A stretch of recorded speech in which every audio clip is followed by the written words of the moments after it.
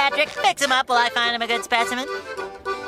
Firmly grasp it in your hand. Firmly grasp it. Firmly grasp it!